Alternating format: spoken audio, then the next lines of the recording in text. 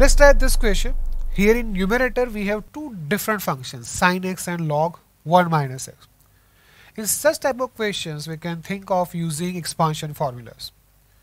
We use the expansions of sin x and log 1 minus x.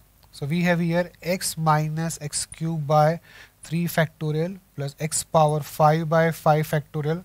We need not to write so many terms because in denominator we have x square.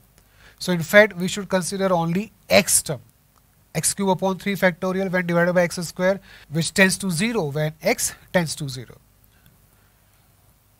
Log 1 minus x expansion is minus x minus x square over 2 minus uh, x cube over 3 and uh, so on. This divided by x square for limit x tends to 0. ठीक है in numerator x gets cancelled out. Then we have a least power of x is uh, x square. The term is minus x square over 2 minus 1 upon 6 plus 1 upon 3 multiplied by x cube and so on. We will have then higher powers of x. This divided by x square.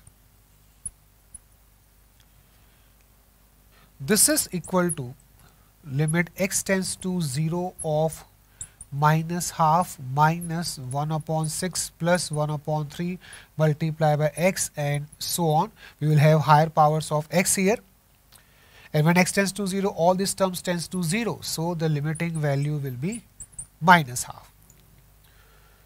So so, hope आपको ये समझ में आ रहा है कि जब हमें question में ये पता चल जाता है कि एक्सपांशन फॉर्मूला से क्वेश्चन हो सकता है तो सॉल्यूशन बहुत ही आसान हो जाता है।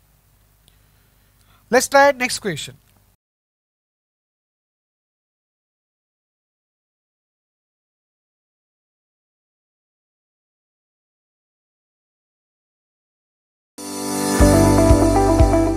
ten x function के इंटीग्रल वैल्यूज़ क्या होंगे? There will be three integral values minus 1, 0 and 1. We draw lines uh, y is equal to 1 and y is equal to minus 1.